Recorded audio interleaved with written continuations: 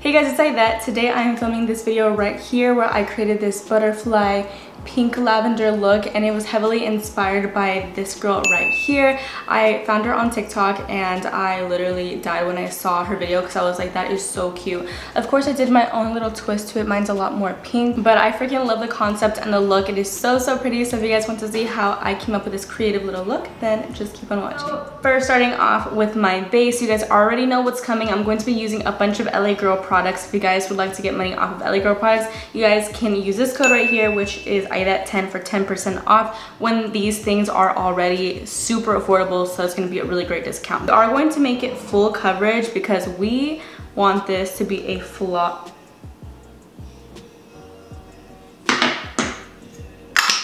Girl, it just got on my white shirt.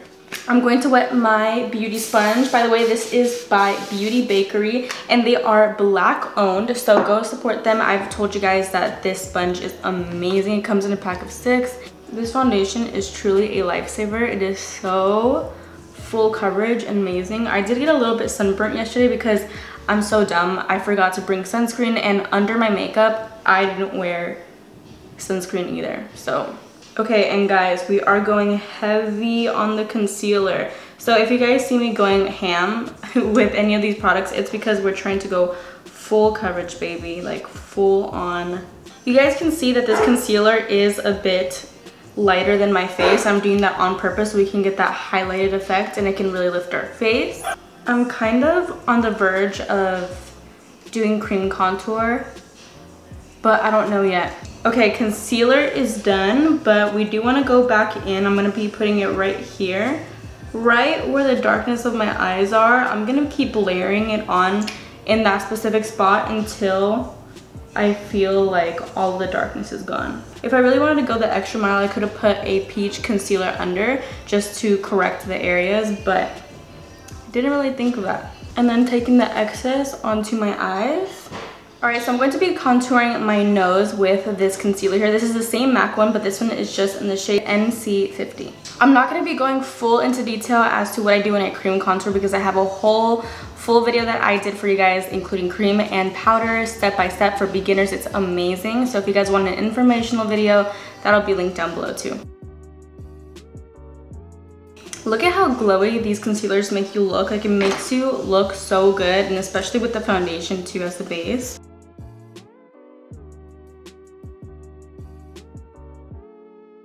And make sure to blend out all of the creases before we apply our powder. Because if you powder over top of all those creases, it's going to leave those creases on your face. It's not gonna be cute. Your, your day will literally be ruined. For powder, I always use my Banana Yellow Powder by LA Girl. This is a loose powder and I'm running out, guys. This is probably like my 87th at this point, you guys are not surprised. I'm using my LA Girl Pro Face Press Powder in the shade Warm Caramel.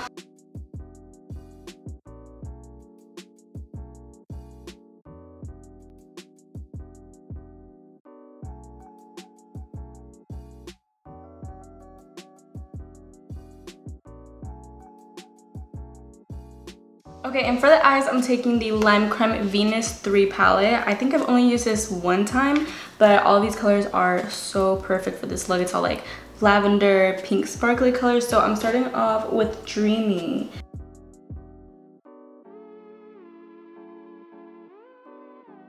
So for this color, I'm really packing it on and I'm only taking a little bit of color at a time just to really build it up without overdoing it. But I do want mine to be like a very pretty like lavender pinky color. So all the colors that we're taking above here, we're also taking them down here just to even it out. I do want to do my brows because I am actually going to fill them in. I don't do it very often, but when I'm doing like a really intense beat, which isn't very often at all, I do like to do my brows. So favorite brow pencil of all time, this is also by LA Girl. This is the Shady Slim Brow Pencil in the shade Brunette.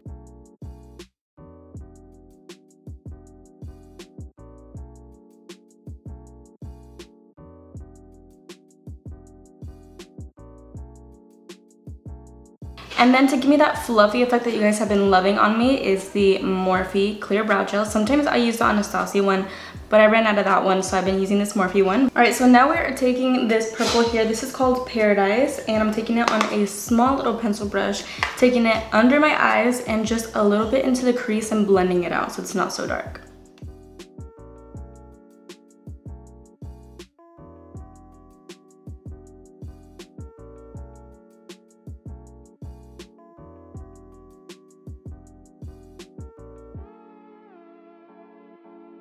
Okay, now we can get to the exciting part. So I'm taking my concealer. It's been a freaking minute, guys. I'm gonna just take off the excess and I'm going to be using the actual applicator since it's so tiny and creating our cut crease.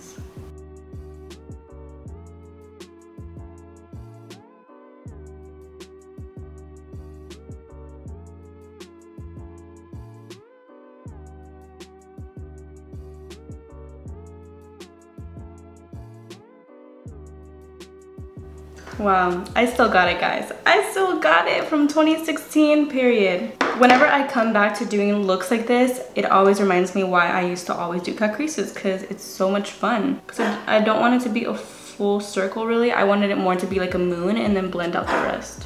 So, and now for the actual eyes, I'm gonna do something glittery. So I'm gonna go ahead and do this purple here. This is called Beam. Also, I should have mentioned this. Make sure that you guys do not let your lids crease. So I like to always kind of stretch my eyes like this.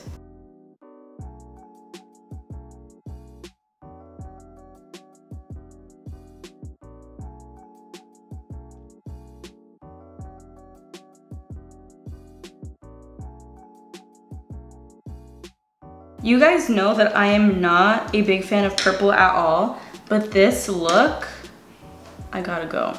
I am gonna be going back in with a tiny pencil brush that's clean and try to clean up the edges.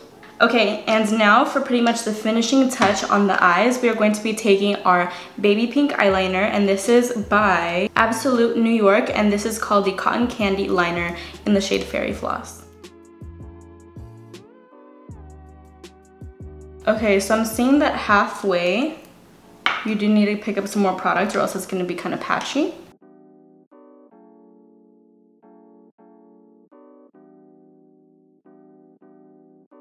It did take several layers to get the pigment that I wanted. The thing about this though is I'm gonna show you guys, this is not a felt tip, it's literally a plastic tip.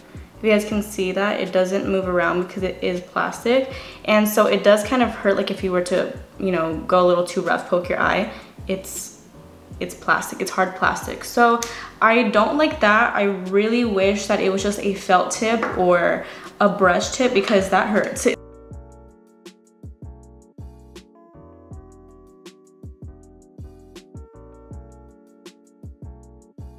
Oh my goodness, so that's the longest I've ever taken on eyeliner before, but I think it's definitely going to be worth it. Once we have the lashes on, it's going to look amazing. It's just not, it's not working out.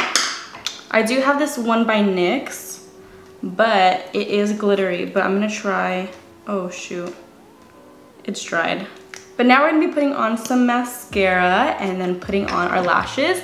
And then we're gonna put on some blush, some highlight. Okay, so I picked up a white liner. This is the LA Girl Line Art Matte Eyeliner and I'm gonna be using this to outline my liner.